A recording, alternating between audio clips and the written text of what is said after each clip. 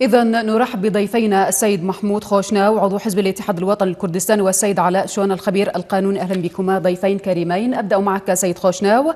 يعني آه، الحديث يدور حول الإعلان عن قائمة تضم 25 مرشحا لتولي منصب رئيس آه، الجمهورية. وأيضا الأنباء تتحدث عن أن التوافق الكردي اكتمل حول مرشح رئيس الجمهورية المقبل بل تم اجتياز مرحلة التوافق بهذا الشأن ولكن في المحصلة من, من هو الأوفر حظا للحصول على منصب رئيس الجمهورية العراقية المقبل الدكتور برهم صالح أم السيد هوشير زيباري؟ تفضل حضرتك.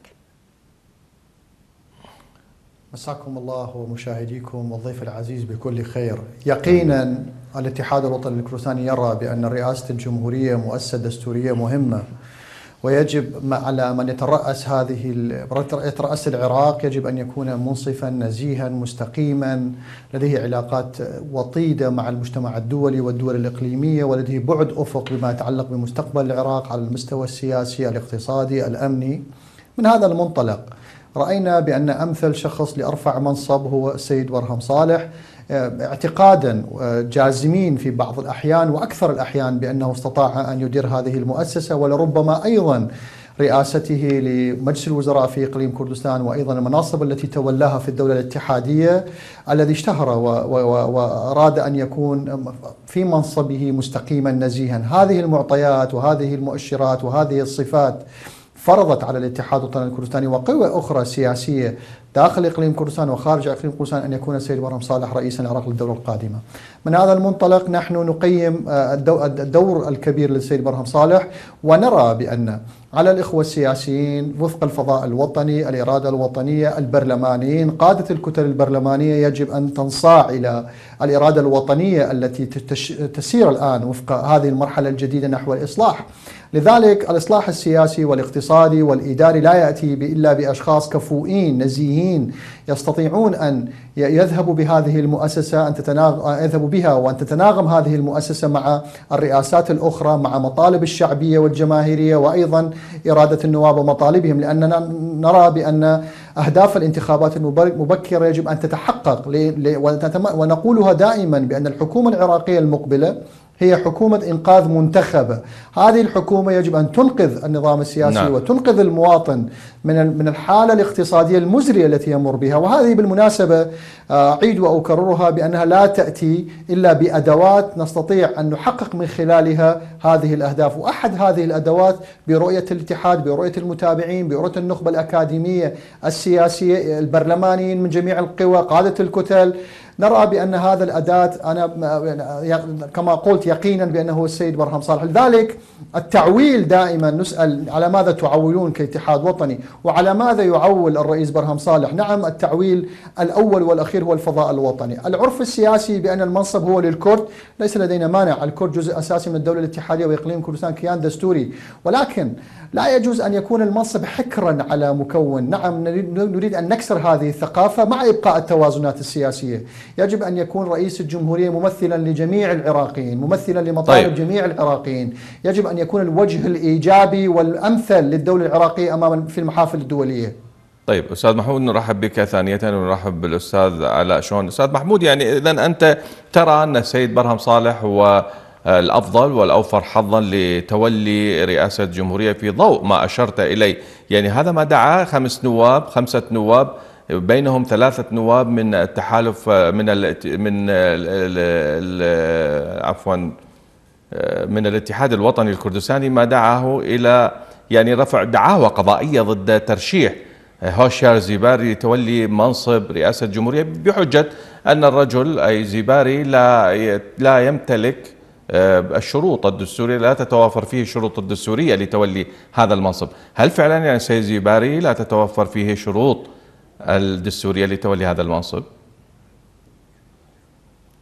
يعني صراحة أولا نحن نتكلم عن الفضاء الوطني ثانيا نؤمن إيمانا مطلقا بالقضاء العراقي ولدينا قناعة تامة بأن القضاء العراقي لا يميل جهة على جهة أخرى وتريثنا والحضور الفاعل والإيمان بالقضاء العراقي هو الذي دفع السيد برهم صالح حتى إلى تفسير آه، من المحكمة الاتحادية حول المادة 70 من الدستور والجلسة جلسة جلسة انتخاب الرئيس باعتبار حتى نقطع الشك باليقين بما يتعلق بالسجالات السياسية. أما ما يتعلق بملفات الفساد نعم هناك هناك عدة دعوات ليس من الاتحاد هناك هناك دعوات جماهيرية هناك دعوات شعبية منظمات مجتمع مدني قوى سياسية آه، لربما لم تعلن لربما ستعلن غدا لربما في الجلسة لربما بعد الجلسة.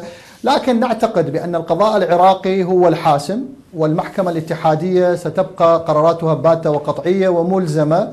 ومن هذا المنطلق ننتظر قضاء العراقي ولكن التعويل ليس على هذا صراحة. يعني السيد برهم صالح لا يعول على هذا الجانب بقدر ما يعول على الفضاء الوطني بقدر ما يعول على إرادة قادة الكتل السياسية ويعول على إرادة النواب الوطنيين من الكتل بدءا بالتيار الصدري وسماحة السيد الصدر ومرورا بقادة الإطار التنسيقي وبما يمتلكون من رؤية جديدة لمستقبل العراق بإنقاذ المواطن وانتهاء بالممثل السياسي السني وحتى قوى كردستانية كجماعة العدل الكردستاني الاتحاد الإسلامي.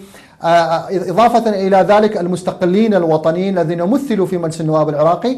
هذه الإرادة حاضرة حتى في الدورة الدورة السابقة ولكن الآن لأن الوضع السياسي العراقي يختلف لذلك التعويل بمسارين إيماننا بالقضاء العراقي إضافة إلى ذلك الفضاء الوطني.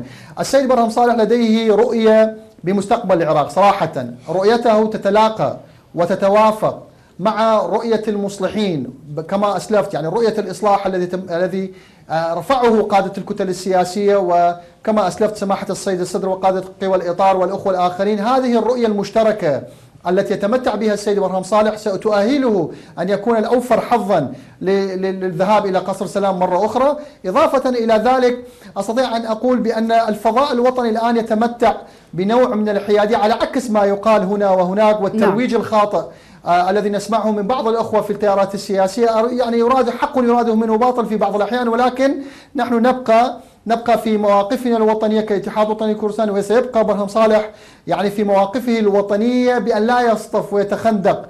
داخل العراق باعتبار التوازنات السياسية الاستقرار السياسي داخل المكونات الأساسية الكردية السنية الشيعية التركمانية الكلدو آشورية الأرمنية الشبكية. يجب أن تبقى لأن نقطة قوة العراق هذا الفسيفساء نقطة قوة العراق هو الاستقرار داخل هذه المكونات بعيدا عن قضية المحاصصة السياسية المقيتة بعيدا عن قضية نعم الفساد. يجب أن نكون رأس الربح في محاربة الفساد.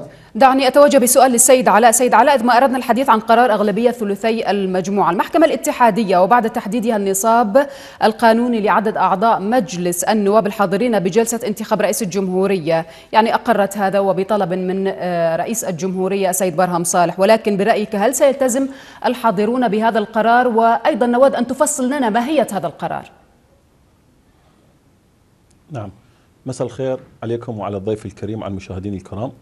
اليوم قرار المحكمة الاتحادية طبعا قرار آه، مهم جدا يبين خارطة الطريق للي للأحداث اللي اللي راح تتم أو المتسارعة وبالتالي آه، القرار يعني حمل التفسير من خلال اللي تقدم به التفسير تقدم به رئيس الجمهورية. وهي من صلاحية المحكمة الاتحادية وصدرت قرارها اليوم بالدعوة رقم 16 وهذا القرار طبعا باتهم ملزم وغير قابل للطعن به. آه، التفسير كان حول عدد الأعضاء اللي يتم بهم انتخاب آه، رئيس الجمهورية. وبينتها قرار المحكمة حسب تفسير الدستور العراقي لسنة 2005 الخاص بانتخاب رئيس الجمهورية بينت أنه يتم الانتخاب بثلثي عدد أعضاء مجلس النواب. يعني هنا عندنا بهاي الحالة لازم ثلثين الأعضاء مجلس النواب يكونون حاضرين ومصوتين إلى الانتخاب رئيس الجمهورية. هذا أولا. ثانيا بينت أيضا في آه، شق ثاني آه، النصاب حتى تتحقق بالجلسة مال مجلس النواب وبينت أنه لازم أيضا يكون هناك ثلثي عدد آه، يكونون موجود ثلثين عدد الأعضاء. لازم أيضا يكونون موجودين. فبهاي الحالة إحنا هنا يكون عندنا يعني راح نوصل إلى مرحلة أعتقد اولا إنه العدد لازم يكون موجود وفي هاي الحالة. شلون راح نجبر الأعضاء على الحضور؟ هنا هذا راح يتعلق في موضوع النظام الداخلي وموضوع آه، السلوك قواعد السلوك اللي لازم تتبع. يعني ممكن اللي يريد يفشل الموضوع ما يحضر للانتخاب نعم. بعذر أو غير عذر يعني يتغيب بعذر أو غير عذر. آه، وهنا بهاي الحالة لازم يتم المحاسبة عليه. هو مو هم موضوع معين أو كذا بس حتى يفشل الجلسة. فهنا نقدر نسميه الثلث المعطل لل على على لانتخاب ذكر الثلث المعطل أستاذ علاء يعني برد الدعوة من جانب المحكمة الاتحادية الذي أقامها الإطار التنسيقي حول الكتلة الأكبر وأصبحت الآن آه، يعني الكتلة الصدرية هي الكتلة الأكبر، هل هذا يعني الثلث المعطل الذي كان يتشدق به الإطار التنسيقي أصبح الآن في مهب الريح؟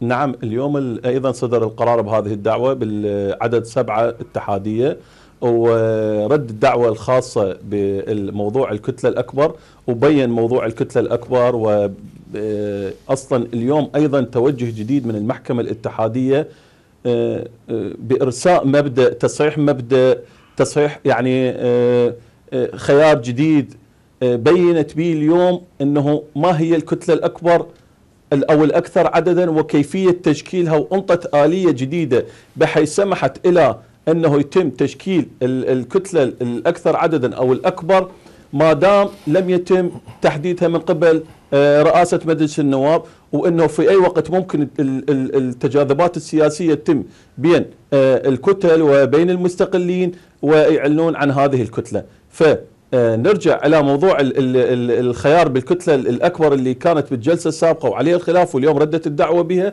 وبينت بأنه قالت ما دام لم يتم تحديد هذه الكتلة من قبل رئاسة مجلس النواب فإنه مفتوحة ال ال ال الوقت إلى أن يتم آه، إعلانها من قبل رئاسة مجلس النواب وبالتالي آه، يتم آه، بعد ما يتم انتخاب رئيس الجمهورية آه، يكلف ال- الكتلة الأكثر عددا اللي أو الأكبر عددا واللي تم تسميتها حسب الطلب المقدم من آه، رئيس الكتلة آه، إلى رئاسة مجلس النواب حتى يكلفها رئاسة الجمهورية. يعني أيضا هذا آه، خلينا نقول طريق ثاني إلى موضوع الكتلة الأكبر تحدد اليوم عن طريق القرار اللي صدر المحكمة الاتحادية. نعم سيد خوشناوة ما هو معلوم أنه سيتم الانتخاب خلال موعد أقصاه هو الثامن من شباط الحالي؟ ولكن ما مدى حقيقة اجتماع الحزبين الكرديين الاتحاد والديمقراطي لربما لسحب ترشيح الدكتور برهم صالح وزيباري واعتماد ترشيح لطيف رشيد والقاضي رزقار؟ هل هذا حقيقي؟ يعني صراحة آه، نحن نرى هناك تصريحات هنا وهناك آه، في بعض الأوقات تكون مثيرة للشفقة آه، من قبل بعض النواب المحسوبين على الحزب الديمقراطي الكردستاني بما يتعلق بتقديم السيد برهم صالح تفسيرا للمادة 70 قبل أن أذهب إلى اجتماع الاتحاد والديمقراطي. يعني صراحة نعتقد بأن السيد برهم صالح ما زال رئيسا للجمهورية. لذلك صلاحياته ومسؤولياته يجب أن تكون واضحة. يجب أن يقطع الشك باليقين بما- يتعلق بالسجالات السياسية والقانونية والتفسيرات جانبية بعدين المحكمة الاتحادية. المسار القانوني والقضائي للمحكمة الاتحادية يجب ترك- يعني تؤسس آه، بيئة قضائية إيجابية ويجب أن تطمئن المواطن العراقي وتطمئن القوى السياسية العراقية بمهامها أن لا يكون هناك التفاف حول الدستور والقانون. لذلك إضافة إلى أن السيد برهم صالح هو مرشحا لا ننسى بأنه لحد هذه اللحظة هو رئيسا للجمهورية ويتمتع بمسؤوليات أمام الشعب العراقي. لذلك هذه أحد يعني نستطيع أن نقول الخطوات الإيجابية للسيد برهم صالح عندما يذهب قبيل الانت- انتخابات الرئيس أن يقوم بمهام رئاسية أيضا ويتز... يعني يقوم بمزاولة أموره الرئاسية وواجباته. الاتحاد والديمقراطي صراحة الاجتماع الاجتماع القيادي المجلس القيادي للاتحاد حسم قضية السيد برهم صالح. يعني هذا الأمر انتهى. مرشح الاتحاد ومرشح القوى الكردية ما عدا الحزب الديمقراطي الكردستاني هو السيد برهم صالح. وأيضا إضافة إلى ذلك نحن ما زالت أبوابنا مفتوحة أمام الجميع ونحن نتمنى أن تكون هناك مبادرات من من الحزب الديمقراطي الكردستاني كالتي قام بها في للقوى السياسية الشيعية أن يدعم المرشح الاتحاد الوطني الكردستاني لإبقاء التوازنات السياسية في إقليم كردستان. هذا هو رؤيتنا وهذا ما نطمح عليه نحن داخل الفضاء الكردستاني وداخل الفضاء العراقي. أستاذ علاء يعني كيف تعلقون على بعد صدور قرار المحكمة الاتحادية باعتبار الكتلة الأكبر هي الكتلة الصدرية صارت هي الكتلة الأكبر ولكن هنا ائتلاف دولة القانون قال أن هذا القرار سيدفع القوى السياسية الأخرى لإجراء مفاوضات جديدة لتحديد الكتلة الأكبر، كيف تعلقون على ما جاء؟ صراحة قطع الصوت عندي أنا ماذا أسمع؟ تسمعني الآن؟ أستاذ علاء؟ الآن أسمعك تفضل بعد قرار المحكمة الاتحادية تحديد الكتلة الأكبر ائتلاف دولة القانون قال بعد هذا القرار سيدفع أن هذا القرار سيدفع القوى السياسية الأخرى لعقد مفاوضات جديدة لتشكيل الكتلة الأكبر هل فعلا بإمكان ائتلاف دولة القانون أن يشكل الكتلة الأكبر بعد قرار المحكمة الاتحادية؟ يعني مثل ما قلت لك قبل شوية اليوم قرار المحكمة الاتحادية كان صريح وواضح آه ومفسر لكل هذه التساؤلات من خلال أنه آه بما أنه يعني نصا بما أنه لحد الآن رئاسة البرلمان لم تعلن عن تشكيل الكتلة الأكبر أو الأكثر عددا فيمكن أن تتم آه، يسمح أو تتم أو تكون هناك صلاحية لكل الكتل والأعضاء المستقلين بأن يدخلوا في آه، تحالفات جديدة وبالتالي تتكون الكتلة الأكبر اللي يتم آه، تقدم من خلال رئيس الكتلة تقدم الطلب إلى رئاسة البرلمان اللي هي بالتالي تحدد الكتلة الأكبر والأكثر عددا واللي يتم على ضوءها بعد ما يتم انتخاب آه، رئيس الجمهورية اللي يكلفها بتشكيل مجلس الوزراء. هنا هذا ليش إحنا صار بالموضوع أكثر من يعني خلينا نقول تساؤل؟ السبب إنه قدمت هذه الطلبات بالجلسة السابقة إلى آه، رئيس السن وبعدها آه، صار الأحداث اللي صارت وأيضا صدرت المحكمة قراراتها بها. فهنا إنه اليوم على آه، رئيس آه، رئاسة البرلمان أن تحدد الكتلة الأكبر. فإذا قدم طلب جديد يعني اليوم هذا الإدعاء اللي يمكن تدعي به حضرتك إذا تقدم من الإطار التنسيقي أنا لم أدعي به وانما ائتلاف دولة القانون هو الذي يقول هكذا. لا لا, لا عفوا. عفوا عفوا أقصد أقصد الطرح نعم. النقل آه، آه، هذا الموضوع إذا تم بقائمة وهذه القائمة بها وحددتها أيضا المحكمة بالقرار مالها طبعا القائمة تحدد بالأسماء والتواقيع اللي اللي تقدم إلى رئاسة البرلمان فإذا قدمت قائمة اليوم بتحالف جديد يضم أعضاء سابقين دخلوا بتحالف جديد هذا التحالف اللي راح يعتمد اللي به الأعضاء الأكثر فإذا وصل الإطار التنسيقي إلى هذا الموضوع وإلى هذه التحالفات وإلى هذه القائمة الأكثر أو الأكبر عددا فممكن يقدمها إلى رئاسة البرلمان اللي بالتالي هي بعدها تحدد الكتلة الأكبر أما إذا ما قدمت غير القائمة اللي قدمت سابقا إلى رئاسة البرلمان فهي اللي راح تعتمد وبما أنه الكتلة الصدرية فهي الكتلة الصدرية راح تعتمد. هنا عندنا أيضا أكو موضوع اللي اللي, اللي خلينا نقول التوافقات أو طريقة المفاوضات الجديدة اللي راح تتبع. أعتقد اليوم قرار المحكمة كان قرار آه يعني حدي وكان قرار آه يتبع إنه تكون هناك أكو توافقات وأكو هناك مفاوضات جديدة. نعم لأنه اليوم لازم يكون الحضور الحضور لجلسة البرلمان ثلثين عدد الأعضاء. نعم.